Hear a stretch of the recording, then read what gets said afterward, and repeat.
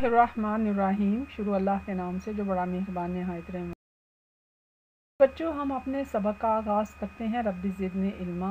इस दुआ के साथ ए मेरे रब, मेरे इल्म में इजाफ़ा। आज हम कहानी पढ़ेंगे किसान और बादशाह। किसान जो है, वो मट्टी में काश्त करने वाले को कहते हैं और बादशाह जो मुल्क का हुक्मरान होता है। शेख जादी, सादी रहमत ने ज़िंदगी का ज़्यादातर हिस्सा इल्म हासिल करने और सैर व में गुजारा। कहते हैं, अगर तुमने इल्म सीखना हो तो सैर व करो, क्योंकि मुख्तलिफ़ जगह दुनिया की देखते हो, मुख्तलिफ़ लोगों से मिलते हो और इल्म हासिल करने का एक बेहतरीन तरीका सैर व है घूमना फिरना अल्लाह की दुनिया को देखना। गुलिस्तान और बोस्तान उनकी मशहूर किताबें हैं। हकायात उन वाक़ात को कहते हैं जो किसी शख्सियत ने अपने इल्म, तजर्बे और अमल से अखज़ किए हों। अखज़ करने का मतलब होता है उनको ख़ुद से समझा हो नतज मालूम किए हों अखज़ करना, निकाल हकायात से लोग दानाई की बातें सीखते हैं, यानी लोगों के दिमाग में हमत और दानाई अक्लमंदी आती है हकायात से। शेख सादी रहमत बोस्तान में फरमाते हैं कि एक किसान जंगल में, जंगल से गुजर रहा था। शदीद बारिश की वजह से पूरे जंगल में बहुत कीचड़ थी।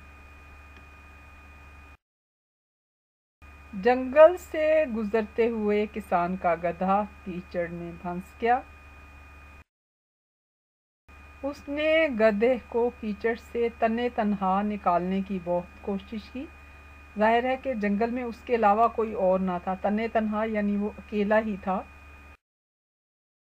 मगर सब राय गा गया, लेकिन वो अपनी कोशिश में कामयाब नहीं हुआ। उसका गधा कीचड़ से नहीं निकल सका। किसान कुछ समझ नहीं पा रहा था कि वो क्या करे, यानी उसकी बिल्कुल समझ में नहीं आ रहा था कि वो अब क्या करे। कभी कभी जब इंसान को कुछ समझ नहीं आता तो वो अपना गुस्सा बिला वजह दूसरों पर निकालता है। इसी तरह सारी रात किसान परेशानी के आलम में सब जानने वालों को बुरा भला कहता रहा। उसकी ज़ुबान से ना दुश्मन बचा और ना दोस्त और ना ही बादशाह। यानी उसने हर एक को बुरा भला कहा। क्योंकि जंगल बादशाह की सल्तनत का हिस्सा था,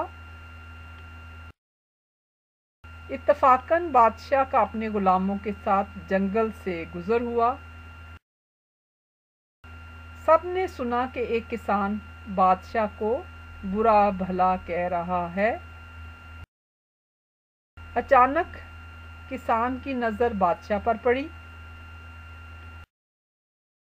वो बहुत परेशान हुआ कि बादशाह ने सब कुछ सुन लिया है। अब उसका अंजाम बहुत बुरा होगा। उस, उसी वक्त गुलामों ने बादशाह के कान भरना शुरू कर दिए। एक बोला ए बादशाह, इस शख्स की गर्दन तलवार से उड़ा दी जाए, क्योंकि इसने आपकी शान में गुस्ताखी की है। दूसरा गुलाम बोला ए बादशाह, इसको कैद खाने में डाल दिया जाए। क्योंकि इसने ना सिर्फ़ आपको बुरा भला कहा, बल्कि आपके ख़ानदान की बुराई भी की है। बादशाह ने मजबूर किसान की तरफ़ देखा, जिसका गधा कीचड़ में फंसा हुआ था। को किसान की हालत पर बहुत रहम आ गया और सैरो सेहत में गुजारा। कहते हैं, अगर तुमने इल्म सीखना हो तो सैरो सेहत करो, क्योंकि मुख्तलिफ़ जगह दुनिया की देखते हो मुख्त बादशाह ने किसान को इनाम व इकराम से नवाजा। और सफ़ेद घोड़ा भी इनाम में दिया। सच है कि बुराई का बदला बुराई से देना आसान है। लेकिन इंसान को चाहिए कि बुराई का जवाब भलाई से दे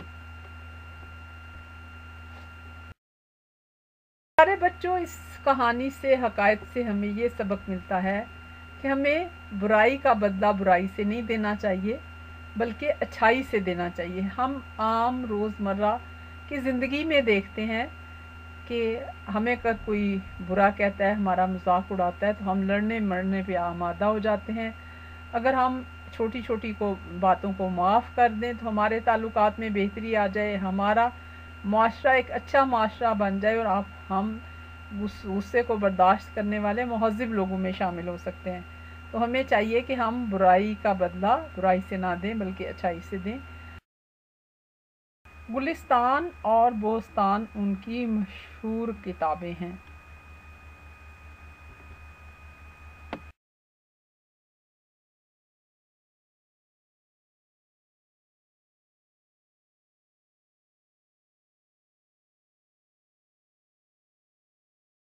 इल्म हासिल करें, आप उर्दू तर्जमा कुरान का रोज़ाना पढ़ना शुरू करें, कम अज़ कम तीन आयात ताकि हम ये छोटी छोटी बातें अपने अंदर पैदा कर सकें, अल्लाह के महबूब बंदे बन जाएँ।